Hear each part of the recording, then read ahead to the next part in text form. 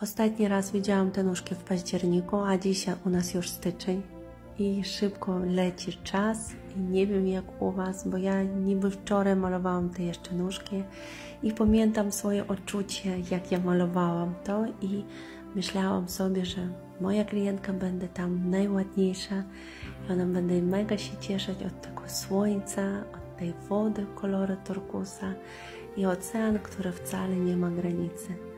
No, na pewno każda tak stylistka sobie myśli w takie momenty, kiedy wie, gdzie teraz zbiera się klientka.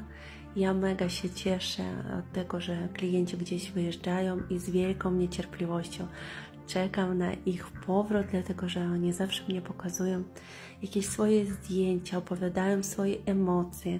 Także wiecie, to praktycznie i ja byłam obok z nimi. Także więcej podróży, kochanie.